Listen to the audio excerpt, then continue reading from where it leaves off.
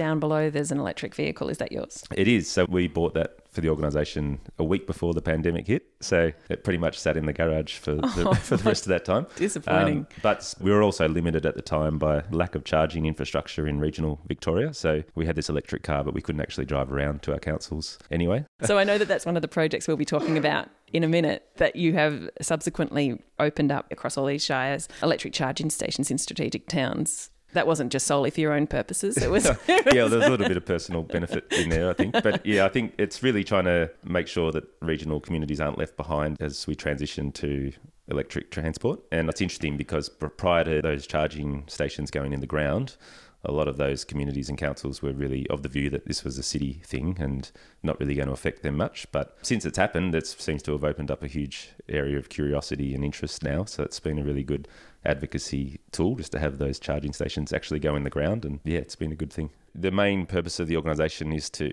bring these councils together to collaborate on climate change with the view that you can achieve a lot more and have a lot bigger impact if you work together.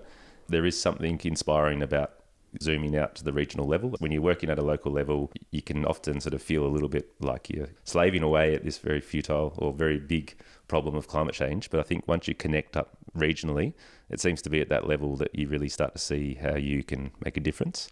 And we see that a lot in our members and our the people that are involved with our alliance is that they, they do feel this motivation that comes from being part of this bigger collaboration than just the work that they're doing at the individual council level. Absolutely. I've been involved in the local ZNet movement, and it can feel like, oh, even if we achieve it here, what does it matter if the rest of the world is not doing the same thing? Yeah, absolutely. And I think that's the thing that you start to see at a regional level is the ripple effect. And you can see how not only what you're doing locally affects the region, but how your region actually impacts other regions too.